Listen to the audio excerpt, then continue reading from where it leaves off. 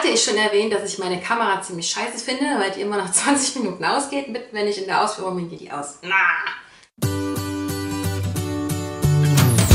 Hallo ihr Lieben, heute soll es mal um die letzten vier Bücher gehen, die ich gelesen habe. Ich war im Juli schon recht fleißig und ähm, deswegen dachte ich, ich zeige euch die vier Bücher auch gleich, die ich bereits gelesen habe.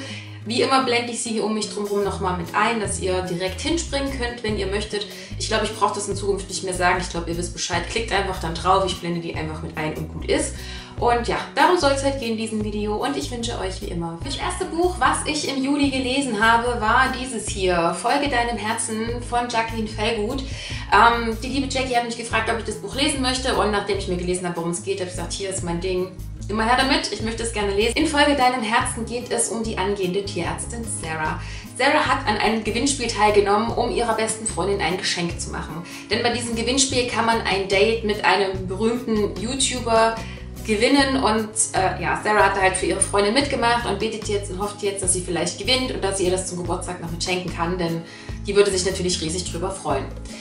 Ja, aber leider läuft dann alles nicht so, wie es geplant war und Sarah muss über ihren Schatten springen und ein Date mit einem anderen YouTuber in Kauf nehmen, um noch das Date für ihre beste Freundin retten zu können. Das ist mal ganz kurz zum Inhalt, mehr möchte ich glaube ich auch gar nicht sagen. Wie gesagt, es geht um Sarah und dann um diesen besagten YouTuber, den sie eigentlich nicht leiden mag, mit dem sie sich ja dann aber gezwungenerweise treffen muss, um halt das Date für ihre Freundin noch zu bekommen. Und ähm, ich muss sagen, ich mochte die Geschichte total gern. Ich fand sie wirklich super süß und für den Sommer ist sie ideal zum Lesen. Sie ist auch nicht recht dick, also man hat sie auch wirklich sehr, sehr schnell durchgelesen und man kann es ideal so für zwischendurch mal mitlesen. Und ich fand es einfach nur süß und es war einfach mal so was richtig Schönes fürs Herz und ich habe mich so gefreut, dass ich dieses Buch gelesen habe und dass ich dieses Buch lesen durfte. Und ähm, ja, ich mochte es total. Ich mochte die Charaktere. Ich fand Sarah äh, sehr, sehr cool. Ich habe mich anfangs halt immer nur gefragt, was ist denn nur bei ihr los? Weil sie hat am Anfang eine ziemlich starke Phobie gegen Kameras und sie möchte halt auch nicht in Videos auftauchen. Sie hat keine Social Media Sites, gar nichts. Ähm, sie ist da strikter dagegen und es klärt sich dann natürlich im Nachhinein auf, wieso, weshalb, warum das so ist, sodass man das Ganze auch wieder nachvollziehen kann und man wird da nicht in der Luft hängen gelassen. Und ja, ich mochte auch ähm, Jake, also Sarahs Gegenpart in dem Sinne, in diesem Buch total gern. Jake ist einfach, er ist einfach toll. Jake ist einfach toll. Ich glaube, Männer sollten sich an Jake nicht abschneiden, wirklich. Also äh, Jackie hat den, die Protagonisten wirklich super gut geschrieben. Wie gesagt, ich mochte sie total, ich habe mit ihnen mitgefühlt, ich habe mit ihnen mitgelitten und ja, die Charaktere waren einfach Hammer. Und äh, ja, die Handlung, wie gesagt, die Handlung war einfach mega. Dieses Buch hat mich zum Lachen gebracht, das hat mich zum Schmunzeln gebracht. Ich habe mit den Protagonisten mitgefühlt, mein Herz war voll dabei und ich habe sogar geweint an der einen Stelle. Das war für mich sehr, sehr schlimm ich hatte auf jeden Fall Tränen in den Augen und ähm, ja, ich fand, dieses Buch hatte einfach alles, was ein schönes Sommerbuch und eine schöne Liebesgeschichte haben muss und ich kann es euch wirklich nur empfehlen. Ähm, vom Setting her befinden wir uns hier ja in New York, was ich auch sehr, sehr cool finde. Ich finde, New York ist eine mega geile Stadt und ich möchte gerne auch mal nach New York und ich beneide jeden, der dorthin fährt. Sina, du weißt, dass ich dich meine. Du fährst dorthin. Ich beneide dich. ja, auf jeden Fall, wie gesagt, würde ich auch gerne mal ultra gerne nach New York fahren und ich mochte das Setting auch richtig, richtig doll. Und ja, dieses Buch, da hat für mich einfach alles gepasst. Charaktere, Setting, die Handlung, der Schreibstil. Der Schreibstil war echt richtig gut. Ich muss sagen, ähm, Jackie hat einen richtig guten Schreibstil. Ich mochte ihn unheimlich gern. Sie schreibt so leicht und witzig und ja, einfach gut. Kann, kann ich nichts weiter sagen. Also es hat dieses Buch war rundum wirklich richtig gut und es hat für mich hier alles gepasst und wenn ihr Lust auf wirklich eine schöne Liebesgeschichte habt, eine schöne Romanze habt, dann lest Folge Dein Herzen, es lohnt sich auf jeden Fall. Und ja, ich freue mich dann schon, wenn ich das neue Buch von Jackie auch mitlesen darf. Das kommt dann jetzt im Juli raus. Dazu dann später mehr, wenn ich es gelesen habe. Ja. Aber wie gesagt, Folge Deinem Herzen ist ein tolles Buch und lest es, lest es, lest es. Ich kann es nicht anders sagen.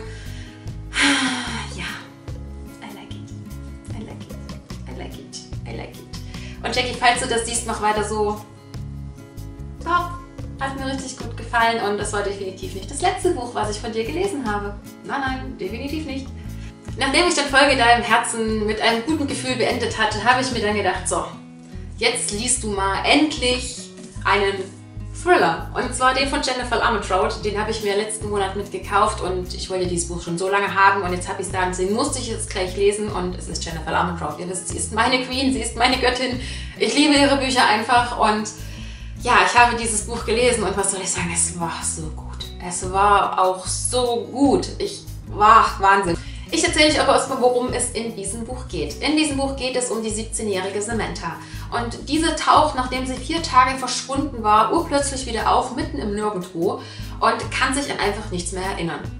Sie weiß einfach gar nichts mehr über ihre Vergangenheit, über ihre Kindheit, es ist alles weg. Was ziemlich dramatisch ist, denn mit ihr verschwand ihre beste Freundin Cassie und die ist auch weiterhin vermisst. Und die Polizei braucht natürlich Samanthas Hilfe, um halt herauszufinden, was mit Cassie ist und wo sie ist, ob sie vielleicht noch am Leben ist oder das Ganze drum und dran. Das macht Samantha natürlich ziemlich mürbe und ähm, je mehr Zeit vergeht, umso mehr kriegt sie ja auch mit, was für ein Mensch sie gewesen ist, umso mehr stellt sie fest, dass sie sich gar nicht leiden kann. Also dass der Mensch, der sie war, sie versteht nicht, wie sie zu so einem Menschen werden konnte und sie versteht einfach alles drum und dran nicht, warum sie so war und was das auch alles mit ihrer besten Freundin zu tun hat. Dann gibt es in diesem Buch noch Carson. Und Carson ist... Carson ist Carson.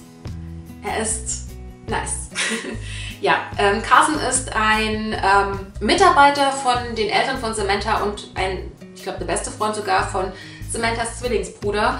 Und die beiden konnten sich früher nie leiden und haben sich halt gegenseitig auch immer nur schlecht behandelt und runtergemacht auf gut Deutsch. Und Samantha stellt jetzt aber fest, dass Carson eigentlich ganz, ganz lieber netter Kerl ist und ähm, da er von Kindesbeinen an mit ihr befreundet war, möchte er ihr natürlich doch helfen und springt über seinen Schatten, als er merkt, dass sie nicht mehr die ist, die sie vorher war. Und zusammen versuchen sie dann, wie gesagt, halt rauszufinden, was genau eigentlich passiert ist. So, jetzt habe ich aber ziemlich viel vom Inhalt schon gesagt. Mehr möchte ich definitiv nicht verraten. Ähm, ich kann nur sagen, zur Handlung, diese Handlung war einfach nur unheimlich gut da sind Sachen rausgekommen, wo du dachtest so, was? Ach du Scheiße, oh mein Gott, die Arme. Und dann denkst du dir wirklich die ganze Zeit, warum war sie so vorher? Und das, man kann das einfach nicht verstehen, weil sie ja jetzt, nachdem sie ihr Gedächtnis verloren hat, eigentlich auch von Grund auf her ein ganz anderer Mensch ist. Und ja, also ich muss sagen, dieses Buch war einfach nur gelungen. Wie gesagt, die Handlung, da passieren so viele Plot-Twists und da passieren Sachen, mit denen man einfach nicht rechnet. Und man fragt sich einfach die ganze Zeit, was ist mit der Freundin passiert? Und wer hat da noch seine Finger mit im Spiel? Weil es wird dann relativ schnell auch klar, dass die beiden, als sie verschwunden sind, nicht alleine gewesen sind. Und ich muss sagen, ich bin bis zum Ende wirklich nicht drauf gekommen, was jetzt hier eigentlich los ist. Also ich bin wirklich bis zum Ende nicht auf den Gedanken gekommen, dass derjenige, welche wirklich was damit zu tun hat. Obwohl ich sagen muss, wenn ich das Buch jetzt gelesen habe, war es sehr offensichtlich. Und das ist einfach so krass, weil du einfach in dem Moment nicht dran denkst. Und ich muss sagen, dieses Buch, wie gesagt, Leute, es war unheimlich gut. Ich empfehle euch, äh, wenn ihr mal Bock auf so einen Jugendthriller habt, der ist jetzt nicht ganz so krass und ganz so schlimm, lest dieses Buch. Es ist so, so gut. Wie gesagt, Charaktere, Samantha mochte ich total gern. Man hat echt mit ihr versucht, mit rauszukriegen, was passiert ist. Und man hat versucht auch rauszukriegen mit, mit ihr zusammen, was sie eigentlich jetzt für ein Mensch gewesen ist oder warum sie so ein Mensch gewesen ist. Und wie gesagt, was das alles mit ihrer besten Freundin zu tun hatte. Dann, wie gesagt, gibt es ja noch Carson und nach Carson. Carson ist einfach toll und Jennifer Armentrout schreibt einfach die geilsten Kerle von allen. Ich kann es nicht mehr anders sagen. Es ist einfach so. Ja, Punkt. Carson ist toll und ähm, auch der Zwillingsbruder von Samantha, den mochte ich total gern.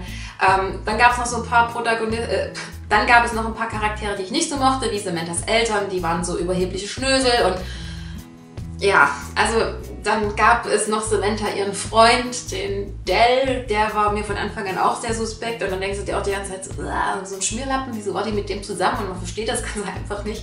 Aber wie gesagt, die Charaktere waren wirklich richtig, richtig gut. Entweder man mochte sie oder man mochte sie nicht, je nachdem, wie es Frau Armentrout auch gewollt hat in diesem Buch und es war einfach so gut. Ähm, vom Setting her befinden wir uns wieder in Amerika natürlich, in einer amerikanischen Stadt. Wir befinden uns aber hier in einem reicheren Umfeld. Das heißt, die Leute, die in diesem Buch vorkommen, haben eigentlich alle ziemlich viel Schotter und sind auch dementsprechend von ihrer Art und Weise her. Und ja, ich mochte dieses Buch ultra gern. Also ich würde es jetzt gleich sofort nochmal lesen, wenn ich jetzt nicht wüsste, wie es ausgeht. Also ich denke mal, ich werde nächstes Jahr viele Bücher rereaden, habe ich mir vorgenommen. Und dann werde ich dieses auf jeden Fall auch nochmal mitlesen. Es war einfach so gut. Leute, es war einfach so gut. Es ist einfach so gut. Und ich muss sagen, es gab eine Stelle in diesem Buch, ich habe dann wirklich gelesen und gelesen, bis ich wirklich müde wurde. Und ich saß dann hier in meiner Stube mit Licht zwar, aber es war dann recht dunkel halt schon, so, nur so einem Leselicht. Und dann wollte ich eigentlich, ich, ich habe mir gesagt, du liest dieses Kapitel noch zu Ende und dann hörst du auf. Und dann war das so gruselig. Ich konnte nicht an dieser Stelle aufhören. Ich musste dann noch zwei Kapitel weiterlesen, ehe sich die Lage in diesem Buch gerade wieder etwas entspannt hatte, ehe ich ins Bett gehen konnte. Also das spricht auch einmal wieder nur für den Schreibstil von Frau Armentrout, weil diese Frau schreibt einfach so gute Bücher und sie schreibt Bücher exakt nach meinem Geschmack. Also man muss ja mal sagen, Geschmäcker sind verschieden. Es gibt ja Leute, die mögen sie nicht. Und ich liebe diese Frau einfach abgöttisch, weil diese Frau schreibt einfach so tolle Bücher und so tolle Charaktere. Und oh, ich kann immer wieder nur schwärmen von ihren Büchern. Und es tut mir so leid, dass ich euch damit so, so, so zusülze. Aber es ist nun mal einfach so, es ist mein Ding. Ja, lest dieses Buch. Es ist so. Nachdem ich dann Dreh dich nicht unbeendet hatte, habe ich dann mal wieder ein Liebesbuch gelesen. Und zwar Der to Love 3, Gelegenheit macht Sehnsucht. Ähm, viele sagen ja, dass das nicht so guter Teil der Reihe sein soll, weil in diesem Buch einfach A, die Handlung sehr, sehr schnell voranschreitet und man sich fragt, äh, was, ihr kennt euch jetzt drei Tage und tut so, als wärt ihr schon drei Jahre zusammen. Und ähm, die Protagonistin in diesem Buch ist sehr naiv, was man sagen muss. Und sie ist halt wirklich da noch ein bisschen irgendwie hinterher von ihren Gefühlen her. Aber das sagt sie auch selber über sich, dass sie halt wirklich ein leicht beeinflussbarer Mensch ist und dass sie sehr naiv ist mit allem. Weswegen ich schon wieder sage, okay, es macht irgendwie Sinn, wenn sie das selber weiß und versucht sich dann zu ändern, aber es ist halt trotzdem, dass sie sehr naiv ist. Auf jeden Fall muss ich sagen, es gibt in dieser Geschichte ziemlich viele Sachen, die mich eigentlich gestört haben, wie dass die Handlung, dass das alles so schnell vonstatten ging zwischen den beiden, ähm, dass sie halt wirklich ultra naiv war und auch, dass es alles ein bisschen unrealistisch war. Also es ist ja wirklich alles sehr weit hergeholt, wie diese beiden zusammenkommen und was da alles passiert. Aber ich muss trotzdem sagen, ich mochte dieses Buch total gerne. Kann mir jeder erzählen, was er will, er kann sagen, es war scheiße. Ich mochte es. Ich fand einfach das Ganze schön, wie die beiden so zusammengefunden haben und was da zwischen den beiden passiert ist. Und ich mag dieses Buch einfach. Und ich fand es sogar für mich jetzt persönlich sogar noch ein bisschen besser als den zweiten Teil kann jetzt jeder erzählen, was er will. Ich mochte den zweiten Teil, aber der dritte war für mich definitiv noch einen Tacken besser. Ich komme aber erstmal ganz kurz zum Inhalt. In diesem Buch geht es um Isabel oder Isabel oder wie auch immer man das jetzt aussprechen möchte. Und äh, sie hat sich gerade frisch von ihrem Freund getrennt. Er ist ein Fremdgänger gewesen und das fand sie ziemlich scheiße und das hat sie erstmal wachgerüttelt, dass sie seit Jahren in einer Beziehung feststeckt, wo sie immer nur gegeben hat, aber nie etwas bekommen hat. Also so liebesmäßig, ne? ihr wisst schon, was ich meine. Geben und nehmen. Und ja, auf jeden Fall beschließt sie, nachdem sie herausgefunden hat, dass er auch noch fremdgegangen ist, ähm, sich endgültig von ihm zu trennen. Lässt Hals über Kopf die gemeinsame Wohnung mit nichts außer ihrem Autoschlüssel und ihrer Handtasche und braust mit ihrem Mercedes davon. Aber da ihr Freund ja so ein netter Mensch ist, gibt er bei der Polizei an, dass das Auto gestohlen wäre. Somit landet Isabel über kurz oder lang auf dem Polizeirevier. Und ähm, dort trifft sie zufällig auf Gabriel Dare. Und Gabriel und sie kennen sich aus dem Country Club, weil sie da so die ähnlichen Kreise haben. Und ähm, ja, Gabriel und sie äh, verband schon immer so eine gewisse Anziehung und da war immer schon was zwischen den beiden. Und ähm, ja, sie erzählt ihm dann so halbwegs, was passiert ist und er bietet ihr natürlich sofort die Hilfe an, die sie eigentlich annehmen möchte. Aber da sie ja einfach mal mit nichts davon gerannt ist und nichts hat, nimmt sie wohl oder übel seine Hilfe an und ähm, sagt ihm aber auch, dass es nicht für lange ist und also er bietet ihr halt ein Zimmer an, dass sie erstmal ein Dach über den Kopf hat. Und ähm, sie nimmt das halt an und sagt aber, sie möchte das nicht für lange, denn sie möchte sich nicht wieder von dem Mann abhängig machen und bla bla bla bla bla. Auf jeden Fall kommen die beiden dann so quasi erstmal zueinander und dann vergehen die Tage und Isabel muss sich mit der neuen Situation zurechtfinden und sie muss sich natürlich auch noch mit ihrem Ex-Freund irgendwie auseinandersetzen. Und das ist so das Grobe, worum es in diesem Buch geht. Dann, wie gesagt, geht es natürlich noch um die Beziehung zwischen Isabel und Gabriel. Und ja, wie gesagt, ich mochte dieses Buch unheimlich gern und ich kann nicht sagen, dass es mir nicht gefallen hat. Wie gesagt, die Handlung war ziemlich weit hergeholt. Sie war auch ein bisschen unrealistisch, dass es ausgerechnet der Zufall war, dass der Bruder von Gabriel der Polizist war, der sie verhaftet hat und die beiden an dem Abend noch zufällig verabredet waren. Also es ist wirklich alles sehr weit hergeholt und sehr, sehr unglaubwürdig auch teilweise, was an diesem Buch passiert. Aber wie gesagt, ich mochte es trotzdem total gern. Ich mochte Gabriel. Ich mochte auch Isabel, auch wenn sie so ein bisschen naiv war, weil man konnte sich da von Anfang an, wie gesagt, darauf einstellen, dass sie so war. Und ähm, vom Setting her befinden wir uns hier in New York. Wieder mal New York. Und das hat mir auch richtig gut gefallen. Ich freue mich auf jeden Fall auf den vierten Teil. Der müsste dann die Tage jetzt bei mir hier ins Haus flattern. Und der vierte Teil soll der beste sein. Ich bin ja mal gespannt, weil im vierten Teil geht es dann um den Bruder von Gabriel, um Declan. Und ja, da bin ich schon gespannt, was die Geschichte bereithält. Und ich kann euch, wie gesagt, immer nur sagen, lest diese Bücher, wenn ihr auf erotische Liebesromane steht. Es ist kein New Adult Buch, es sieht immer noch so unschuldig aus, aber es geht hier heiß her in diesen Büchern.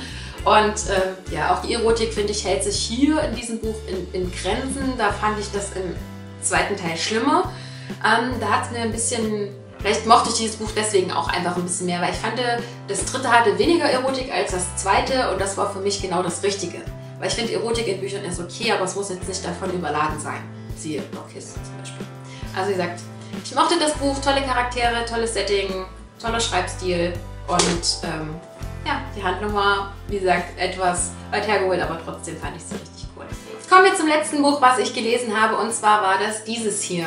Der zweite Teil der Academy of Shapeshifters, Wolfspack oder Wolfspack, je nachdem, ob man es Deutsch oder Englisch ausspricht, von Amber Auburn. Ich muss sagen, ähm, die liebe Amber hat mir dieses Büchlein zugeschickt und ich habe mich so riesig darüber gefreut und habe es gleich gelesen, als es die Woche kam, weil es sind ja 80 Seiten und die kann man echt super so für zwischendurch einfach mal mitlesen und ich mochte den zweiten Teil sogar noch mehr als den ersten, weil ich fand, dass die Handlung hier noch ein bisschen spannender war, ähm, was hier alles so passiert ist. Denn es geht im zweiten Teil darum, dass Lena ihren Platz jetzt erstmal im Camp finden muss. Sie ist ja im ersten Teil in dieses Camp gekommen, nachdem sie erfahren hat, dass sie eine Gestaltenwandlerin ist und eine Prüfung bestehen musste, womit äh, sie ihrer Gattung quasi zugewiesen wurde. Und dabei ist rausgekommen, dass Lena eine Kann ist. Und ihre Freundin Rai Rajani, ich habe keine Ahnung, wie man diesen Namen ausspricht. Rajani, Rajani, ich, ich weiß es nicht, es tut mir leid. Auf jeden Fall ähm, ist sie eine Fell und somit müssten die beiden eigentlich Feinde sein. Da sie sich aber von Anfang an gut verstanden haben, möchte Lena ihre Freundschaft natürlich nicht aufgeben. Und so bleiben die beiden auch zusammen in einer Hütte, äh, Zimmergenossinnen quasi. Und das passt einigen in diesem Camp nicht. Und so muss Lena halt, wie gesagt, gucken, wo ihr Platz im Camp ist. Und sie muss versuchen, ihre Stellung zu finden. Und das ist so das Grobe, worum es im zweiten Teil geht. Man möchte ich gar nicht verraten, weil ähm, es sind nur 80 Seiten. Und wenn ich jetzt zu viel verrate, spoilere ich euch und das möchte ich nicht. Auf jeden Fall hat mir der zweite Teil, wie gesagt, noch ein bisschen besser gefallen als der erste, weil einfach die Spannung hier ein bisschen mehr noch war. Und ähm, von den Charakteren kann ich sagen, ich mochte Lena immer noch total gern, genau wie im ersten Teil. Ich mochte Rajani wenn man sie denn jetzt ausspricht. Tut mir leid, ich habe keine Ahnung. Ähm, mochte ich auch wirklich sehr, sehr gerne als ihre Freundin. Und dann gibt es natürlich noch Janis. Und ähm, Janis ist auch ein Mitglied vom Camp, den Lena so ein bisschen ins Auge gefasst hat. Und auch ihn mochte ich total gerne. Gibt es natürlich noch ein paar Charaktere, die man natürlich nicht so leiden kann, was so ein bisschen Lenas Gegenpart ist. Und auch die fand ich wirklich sehr, sehr gut geschrieben und sehr, sehr gut gemacht. Und ja, wie gesagt, von den Charakteren kann ich da einfach nichts meckern. Der Schreibstil von Emma gefällt mir auch immer noch total. Ähm, ich mag das ja, wie gesagt, diesen Jugendbuch-Schreibstil, wenn das alles so einfach ist und so locker leicht. Und das ist bei diesen Büchern definitiv der Fall. Und also wie gesagt, die Charaktere mochte ich total gerne, der Schreibstil war richtig gut. Vom Setting befinden wir uns immer noch in ähm, diesem Camp. Ähm, ich mochte auch die Beschreibungen vom Camp her sehr gern und dieses Camp befindet sich ja mitten im Wald, mitten im Nirgendwo quasi. Und auch das hat mir wirklich richtig gut gefallen. Und ich werde diese Reihe auf jeden Fall weiterlesen. Es sind ja bis jetzt vier Teile insgesamt erschienen. Der dritte heißt Pantherherz wow! und der vierte heißt Nebelweiß. Und äh, ja, ich bleibe da auf jeden Fall dran und werde immer mal wieder eins von diesen kleinen Büchlein noch mitlesen, so für zwischendurch. Und ich empfehle euch, wie gesagt, diese Reihe, wenn ihr gerne Jugendbücher lest oder wenn ihr gerne Gestaltenwandlerbücher lest, dann schaut euch auf jeden Fall die Academy of Shapeshifters mal mit an. Ich kann sie euch da wirklich nur empfehlen. Und ich finde auch diese Cover hübsch. Ich mochte das Cover von Fuchsrot schon total gern und ich mag auch das Cover wieder. Und ich finde auch das von Pantherherz und Nebelweiß gut. Die habe ich ja auch schon gesehen. Die haben mir auch richtig gut gefallen. Ich bin auf jeden Fall gespannt, wie es mit Lena weitergeht und ob sie es schafft, sich im Camp einzufinden und mit dieser neuen Situation komplett dann klarzukommen. Und ich bin natürlich auch gespannt, ähm, was hier noch passiert, denn ähm, es sind natürlich noch Sachen, die hier am Rande passieren, die ich euch natürlich nicht verraten möchte, weil ich euch dann spoilern würde. Aber auch da bin ich gespannt, wie es weitergeht. Und ja, ich empfehle euch dieses Buch. Lest es, es ist wirklich sehr, sehr gut und ich mag es unheimlich gern. Und Ideal für zwischendurch, weil es ja wirklich nur 80 Seiten. Das waren meine letzten vier Bücher, die ich jetzt seit Anfang Juli gelesen habe. Und ich muss sagen, ich fand alle vier Bücher wirklich richtig gut. Da war kein Buch dabei, wo ich sage, das war nicht mein Fall. Nein, ich mochte sie alle total gern. Und ich kann sie euch wirklich jedes Buch für sich wirklich nur empfehlen, je nachdem, was ihr gerne lest. Schaut da auf jeden Fall mal rein. Und ansonsten bedanke ich mich an dieser Stelle wie immer fürs Gucken und wünsche euch noch eine schöne Woche. Bis zum nächsten Mal. Macht's gut. Tschüss.